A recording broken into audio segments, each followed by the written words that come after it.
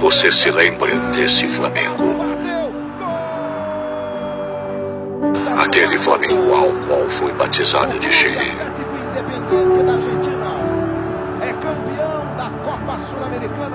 Perdemos títulos para clubes que nem sequer joga a Série B hoje em dia.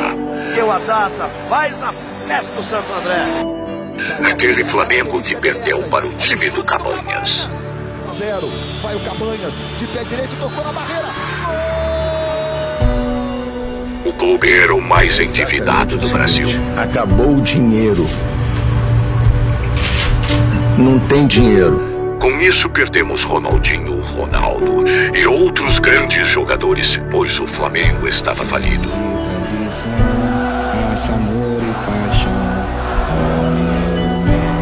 Por isso hoje eu tô de saída do Flamengo, coração um pouquinho na mão.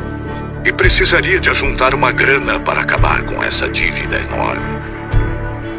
Eu não tenho a menor dúvida de que vai ser a partir dessa nova postura da reconstrução da nossa credibilidade que nós vamos conseguir colocar o Flamengo no seu devido lugar.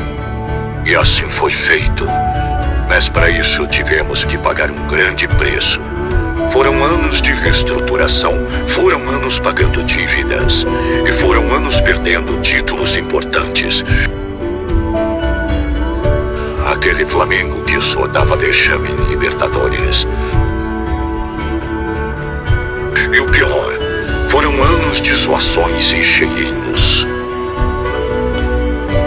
Mas tudo passou e o Flamengo foi colocado ao seu devido lugar.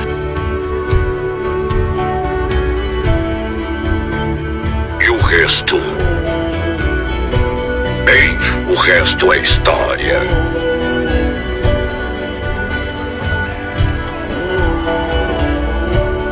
E hoje podemos dizer.